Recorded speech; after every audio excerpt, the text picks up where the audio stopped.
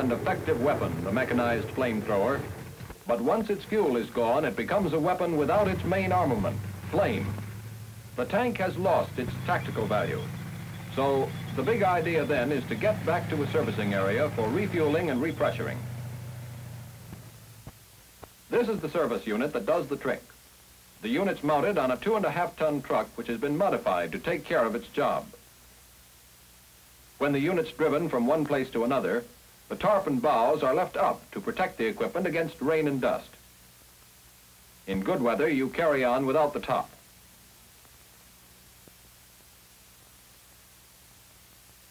Starting from scratch, it takes about 30 minutes for the unit's three-man crew and the tank's four men to service the mechanized flamethrower for another mission. Gasoline and thickener are delivered to the servicing area by another truck. Let's take a quick look at the three main parts of the unit. The fuel mixing tank is at the rear. It'll mix a maximum batch of 280 gallons of thickened fuel.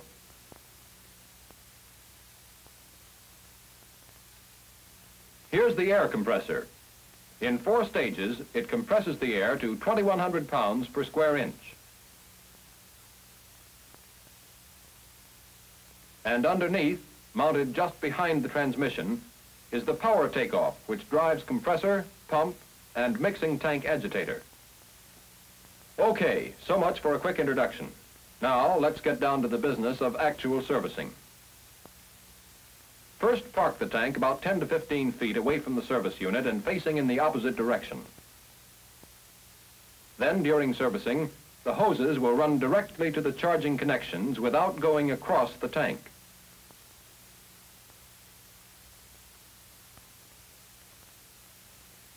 Also, if you can do it, park the service unit on a rise so any spillage will run out the back.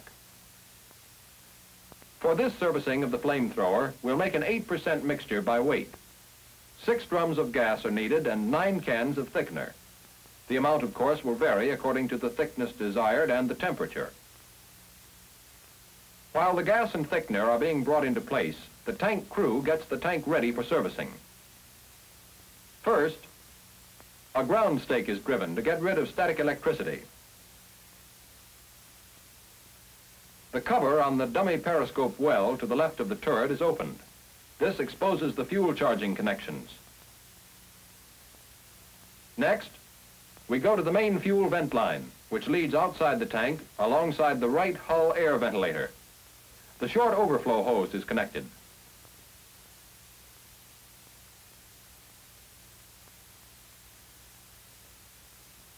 Overflow through this shows when the main fuel containers are full. Now, let's see what's happening on the service unit. Remember, most of these operations all take place simultaneously with a minimum of lost motion and time. Again, drive a ground stake to eliminate static electricity. If you're the driver of the service unit, here's what you do. First, See that the front wheel drive is disengaged and ignition off. Then engage the equipment power takeoff lever, the one farthest on the right. Sometimes it won't engage right away because of its construction. If that happens, put the truck in low or reverse, release the brake, and step on the starter.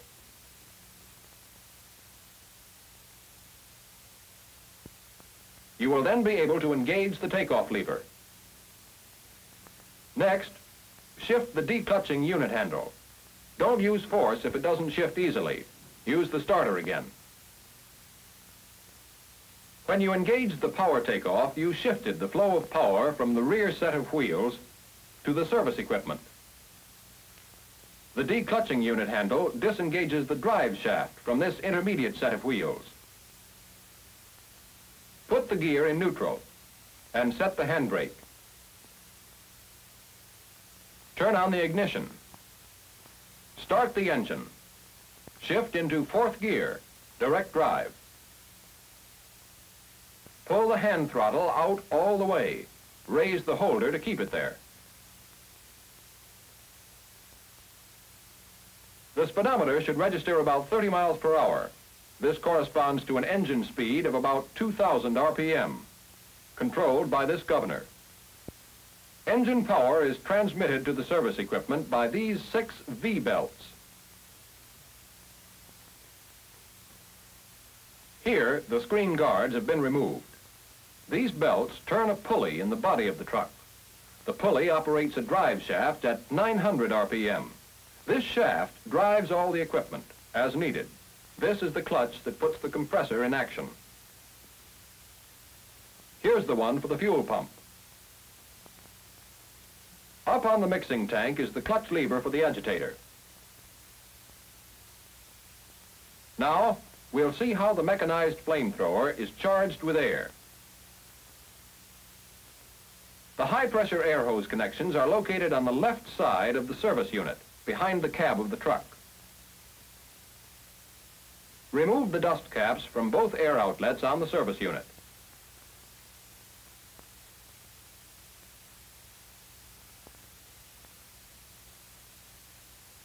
Connect the hoses. Make sure they're tightened securely. Check that both bleed valves are closed and that the shutoff valve is open if two hoses are used. Pass the other ends of the hoses to the flamethrower. The crew there will make the proper connections on the tank. The end of one hose is passed inside. The driver connects this to the charging fitting for the main pressure system. This connection, located above and to the rear of the driver's seat, has to be tightened securely. The driver now opens the main pressure charging valve. At the same time, the assistant driver carries on outside. He connects the second hose to the auxiliary air charging connection in the top of the turret.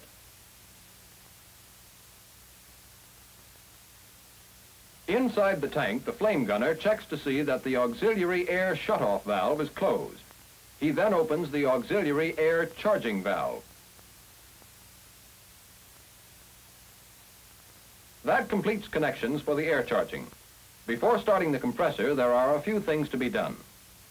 The service unit commander closes all drain valves under the four water knockout drums and the surge tank.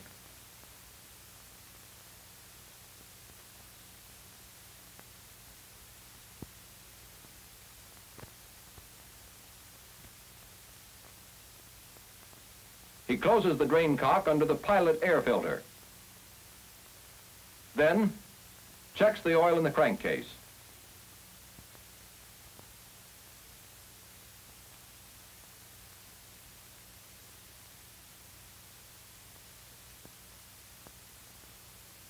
Next, the pumps on the mechanical lubricator are given five strokes each. The service unit commander checks the lever located in the center of the compressor gauge panel. This must be in the stop position. The compressor clutch is engaged. It's done quickly with a steady pull. Air blows from the relief valve until the lever is turned to the run position. And that does it. The compressor is working. The flamethrower is being pressured.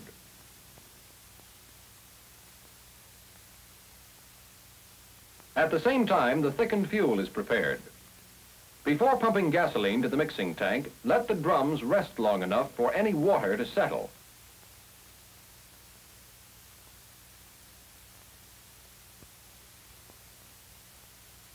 Connect the brass standpipe to the hose.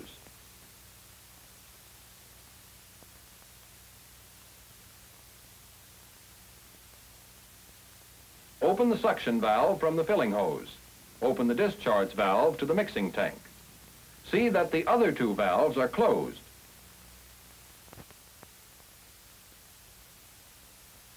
Insert the brass suction pipe into the bung of the drum.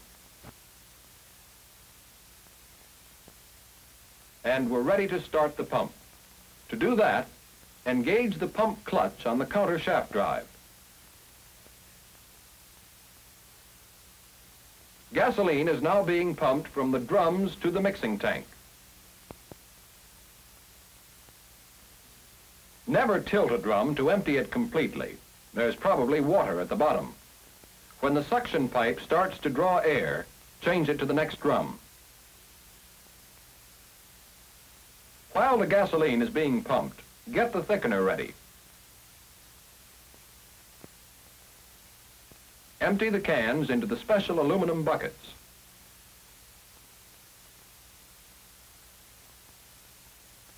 Meanwhile, the mixing tank gets the correct amount of gasoline. In this case, 263 gallons. When it reaches that volume, stop the pump. Don't let it run dry. Close the suction valve from the gasoline hose.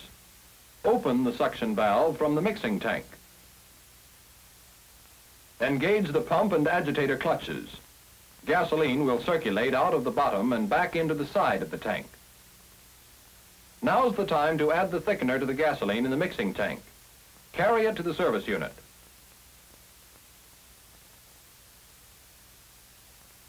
The driver of the unit handles the mixing. He pours the thickener into the mixing tank as the assistant hands it up. The thickener has to be added rapidly. While agitation continues, the pump recirculates the mix to keep the thickener from settling before you get the proper mix. The mixing time depends upon the temperature. Here it takes only a few minutes.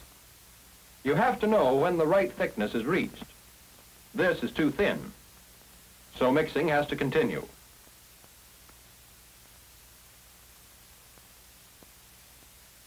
The right mixture will run freely, but it'll be stringy like this. When the mixture's okay, stop the agitator and the pump. Don't forget, while the fuel is being prepared, the flamethrower is being charged with air. Pressure is still building up, and the high pressure gauge on the control panel of the compressor reads 1,500 pounds.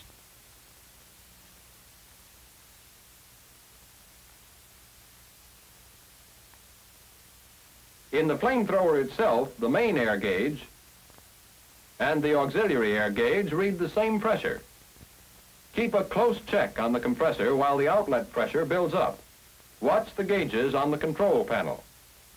The gauge for the first stage should read around 50 pounds, the second about 200, and the third about 600. If they're too far off, look for trouble. Check oil temperature and pressure. The temperature should be below 180 degrees Fahrenheit. The pressure, between 20 and 80 pounds. The temperature of the discharge air is a check on the cooling system. It should be about 20 degrees above the outside temperature, never over 140 degrees Fahrenheit. Now, let's see how the thickened fuel is delivered to the flamethrower.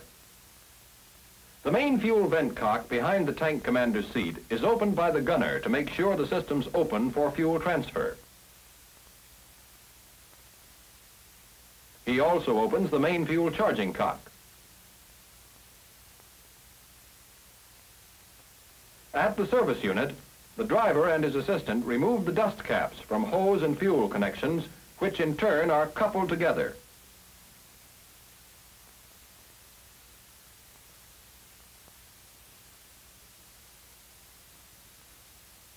The hose is then passed up to the driver and assistant driver of the tank to make the connection on the flamethrower. This hose connects to the big charging inlet near the middle of the turret well.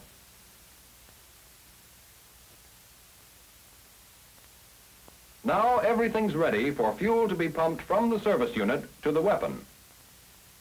Close the discharge valve to the mixing tank. Open the discharge valve to the servicing hose. Be sure the suction valve from the mixing tank is open. Then, engage the pump clutch. Now, the fuel's being pumped to the flamethrower. Let's see how the air charging is coming along. The high pressure gauge will tell you when charging is complete. It should read about 2,100 pounds per square inch. The gauges in the tank read the same. So, Turn the control lever to stop. Then check the fourth stage pressure gauge.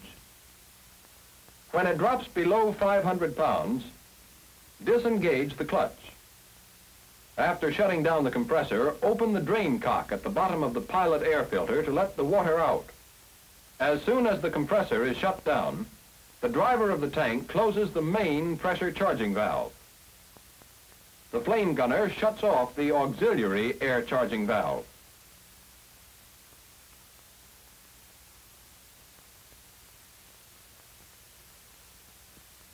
When that's done, the service unit driver has to drain the water from the four water knockout drums and the fourth stage surge tank. He should leave the valves open.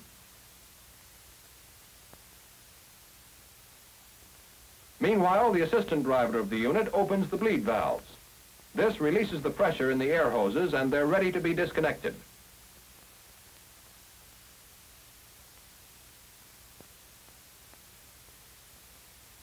In the tank, the driver disconnects the main pressure hose. At the same time, the assistant driver disconnects the other one.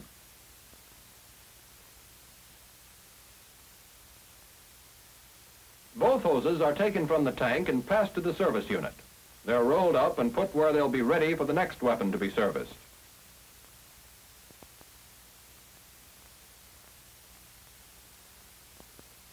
As for fuel, You'll be able to tell when the main containers are full. When fuel comes out the overflow hose. To minimize danger of fire, catch this fuel in a can. The driver of the service unit stops the pump. In the tank, the flame gunner closes the fuel charging cock. He also closes the fuel vent cock.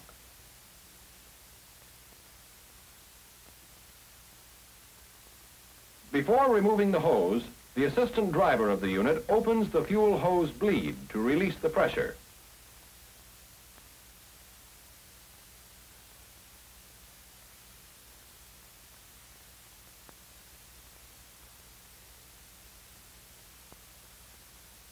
Because the hose is full of thickened fuel, dust caps must be replaced. The hose is then disconnected from the tank.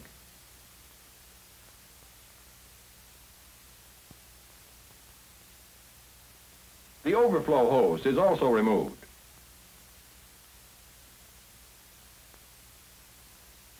Both hoses are put out of the tank's way.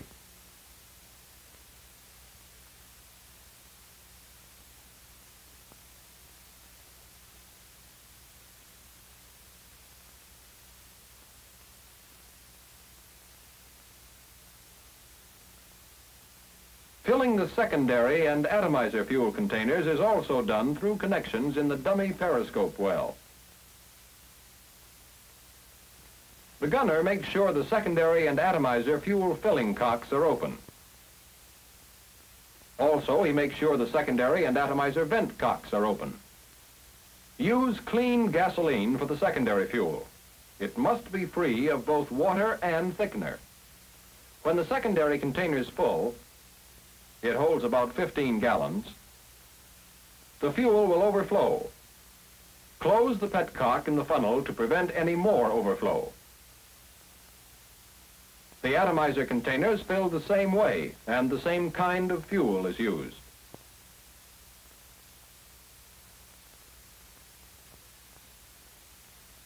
Overflow shows the containers filled. It holds about two gallons. Inside, the gunner closes secondary and atomizer fuel vent cocks. He also closes the two filling cocks. Be sure all caps are on, vent holes clear, and excess gas wiped away.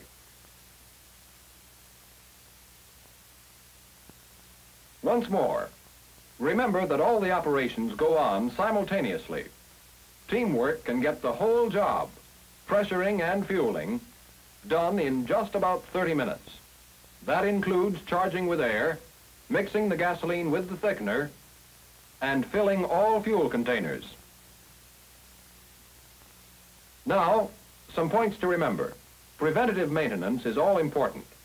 The service unit is no better than the truck it's mounted on.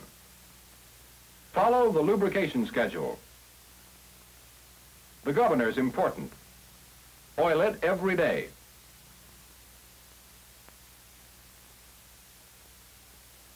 Check the oil in the compressor before each operation. While a flamethrower is being serviced, check the oil flow to the third and fourth stage compression cylinders. Time the flow through the inspection windows. Two to four drops per minute for the fourth stage, and four to six for the third. Check the V-belts for wear and rigidity. These come in matched sets and should be replaced that way. See that all clutches engage easily. Check everything for wear, damage, or misalignment. The compressor fan, agitator, and the pump. If the fuel lines or air valves and lines leak, repack, repair, or replace defective parts.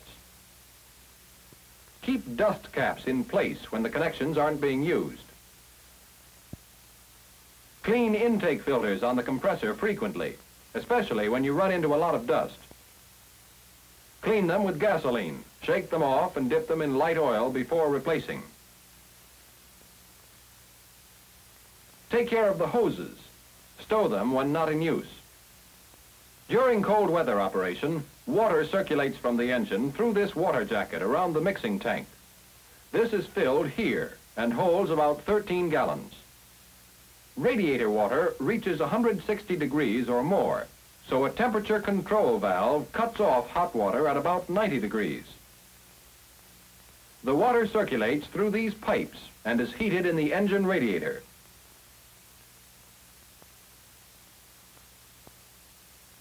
When you want to use this, open the two shutoff cocks prior to pumping gasoline.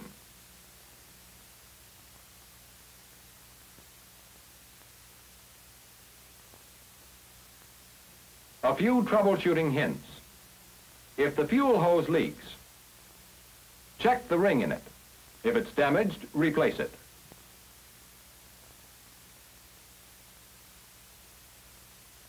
If the output of the compressor is too low, if repressuring takes too much time, air may not be getting in.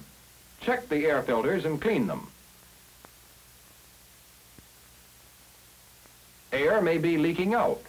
Remove and clean the needle valves in the knockout drums. If you should run across air leaks at joints, tighten the joints. If the leak is in a pipe, shut down and get it repaired.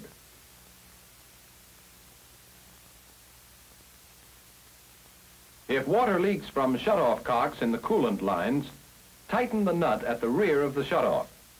A water leak here could drain the radiator and burn up the engine. Sometimes the needles on the pressure gauges will vibrate too much. Just regulate the amount of air flowing in by adjusting the valves behind the board. Know your job and do it well.